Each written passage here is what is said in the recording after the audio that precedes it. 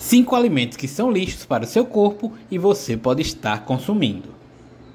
Existem muitos alimentos que são muito prejudiciais ao nosso corpo e à nossa saúde e que você deve evitar ou retirar totalmente do seu cardápio. Fique ligado nesse vídeo e aprenda quais são esses alimentos para você fugir. Carnes processadas.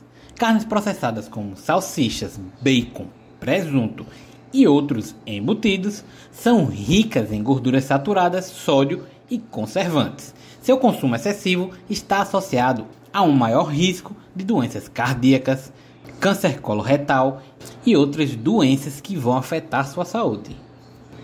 Alimentos ricos em gorduras saturadas. Carnes gordurosas, queijos duros, manteiga e óleo de coco são fontes de gorduras saturadas. O consumo excessivo desses alimentos pode aumentar o colesterol LDL, que é o colesterol ruim, e isso vai aumentar o risco de doenças cardiovasculares. Bebidas alcoólicas.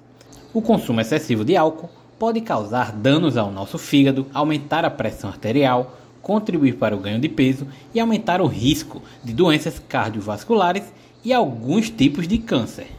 Por isso é tão importante que se você for beber, beba com moderação. O melhor é não beber, mas se for beber, saiba dosar a quantidade.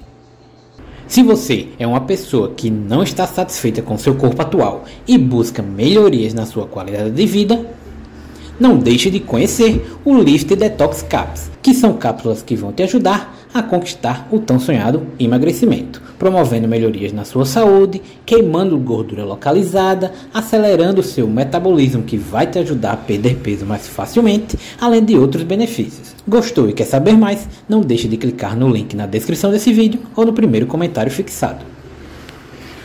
Alimentos com muito sal. O consumo excessivo do sal pode levar à retenção de líquidos, pressão alta e um maior risco de doenças cardiovasculares. Alimentos processados, salgadinhos e alimentos enlatados geralmente têm altos níveis de sódio.